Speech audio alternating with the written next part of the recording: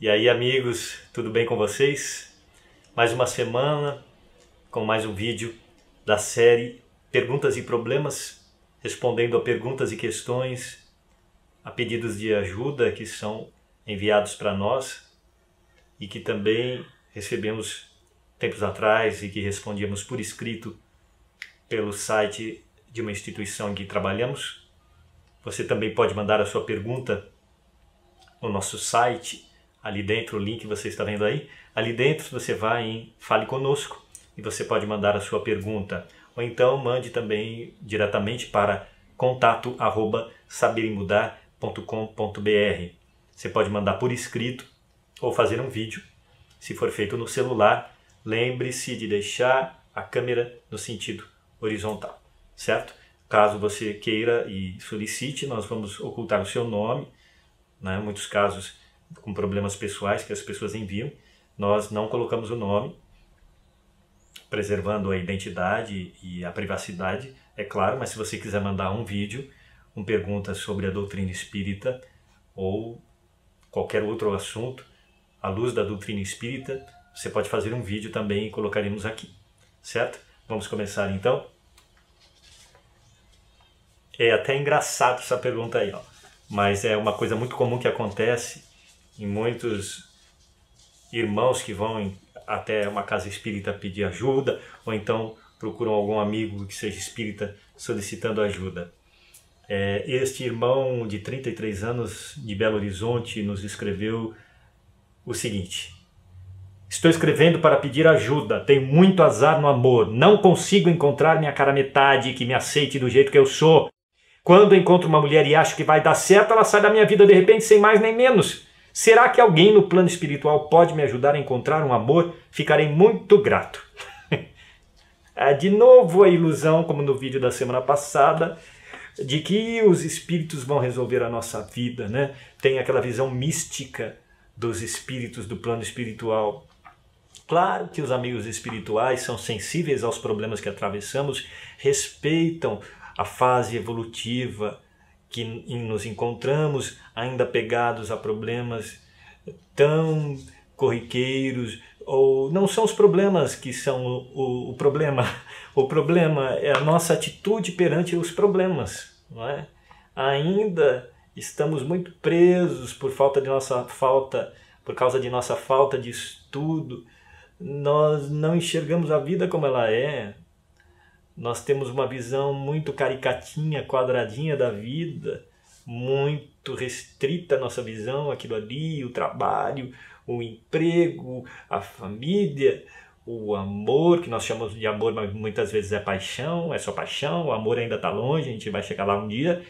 É, e a gente quer que os espíritos resolvam, pelo amor de Deus, façam alguma coisa, me ajuda. O problema é tudo de fora, são as pessoas, são os problemas, e eu, coitadinho, né, não fiz nada para estar nessa situação. Ou então a gente é como uma criança que quer o doce, quer o doce antes da comida e que vai fazer mal e que não é bom, que ela não pode ficar naquilo, ela tem que aprender, ela vai ter o doce. Mas é depois, né? Primeiro tem que ter um, uma, uma, uma disciplininha, pelo menos na nossa vida, para a gente caminhar não é? Para a gente evoluir, não pode ficar isso aí, não, essa visão que a gente tem. Né? Por que será que ele tem azar, entre aspas, no amor desse jeito? O que será que ele fez nessa vida e nas outras? Né? Será que o que ele pede é o que ele dá?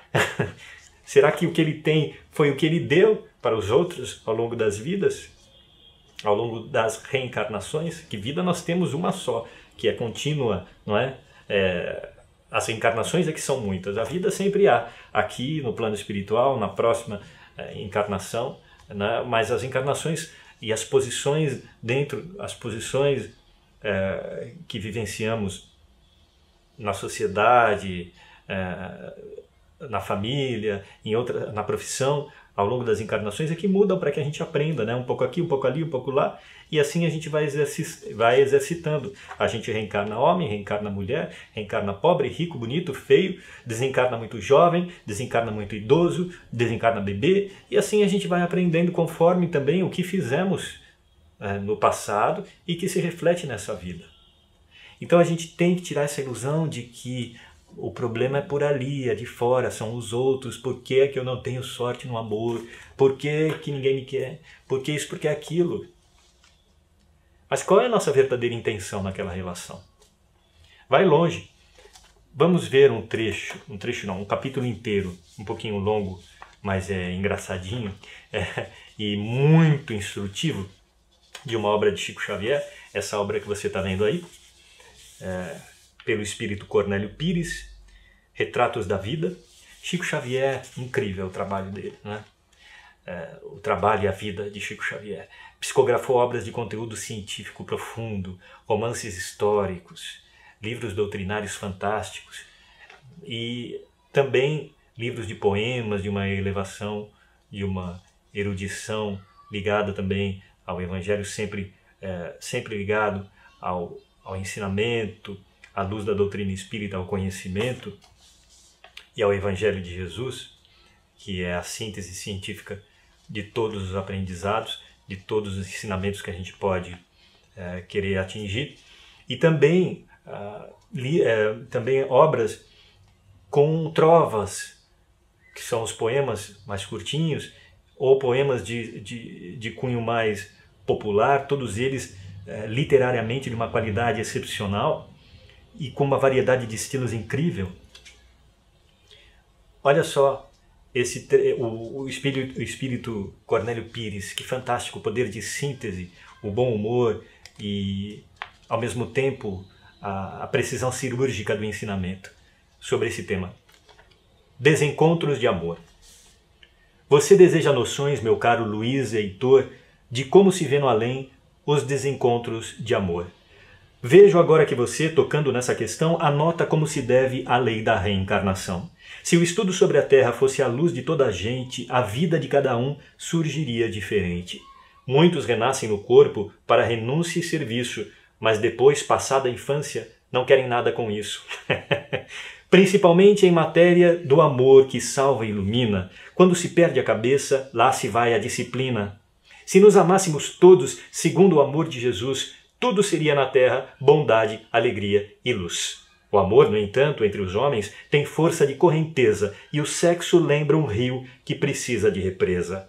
Se uma afeição de outras vidas vem de novo ao nosso olhar, a condição em que esteja é uma lei a respeitar. Pode-se amar a pessoa em bases de estima e fé, como se guarda uma flor que não se arranca do pé. Mas muita gente no teste, reencontrando um ser amado, desgoverna-se de todo e deixa o dever de lado. Se a criatura cai nisso, ouvida o senso comum, menospreza o compromisso, não aceita aviso algum. Abandonado o programa que se trouxe ao renascer, os males que surgirão, ninguém consegue prever. É muito amigo da vida, procurando o próprio azar. Há muito drama no mundo que precisamos lembrar. Maricota matou João e deu-se ao natividade, mas João hoje é filho dela em justa necessidade. Carolino suicidou-se, largado por Flores Bela, que não pode ser de Antônio, por ver o morto atrás dela. Antero morreu por Joana, pois Joana deu-se ao Benfica. Antero voltou aos dois, é o filho que os crucifica. Quitéria arrasou Belinha para dar-se ao Gil Cascudo. A vítima renasceu, é a filha que afere em tudo. Servino acabou com Cláudio, conquistando Dona Elisa, mas o morto regressou. É o filho que os escraviza. O triângulo afetivo, que não se forma contento, termina sempre na vida em trio de sofrimento. Se você gosta de alguém, mas já não está sozinho, cultive o amor dos irmãos, não complique seu caminho. Você faça o que quiser, liberdade é coisa santa, mas não se esqueça, meu caro, cada qual colhe o que planta. Se você apenas luta por desejo e tentação, separação não se entende, divórcio não tem razão. Cumpra o dever que abraçou, alegre, forte e sereno, o sexo com remorso é melado com veneno. Recorde o antigo provérbio de valor singelo e raro: quem a paca caro compra, pagará a paca caro. o link desse texto você está vendo aí, você pode clicar, vai para o site do Projeto Saber e Mudar Ali você pode copiar esse texto, pode estudar, pode distribuir desta obra fantástica de Chico Xavier, pouco lembrada, também são mais de 500 obras que tem Chico Xavier. As pessoas acabam lendo as mais conhecidas, mas existe um tesouro incalculável que precisa ser também é, explorado, estudado e assimilado. Um outro trecho curtinho de uma obra de Chico Xavier, também nesse caso também é uma poesia, num tom um pouco diferente, da obra Trovas do Outro Mundo por Espíritos Diversos. Esse trecho, eh, essa trova de, do espírito Chiquito de Moraes. Amor não vem do minuto de paixão ou de alegria. Amor é assim como fruto que se faz dia por dia. Aí está o link que você pode acessar este trecho.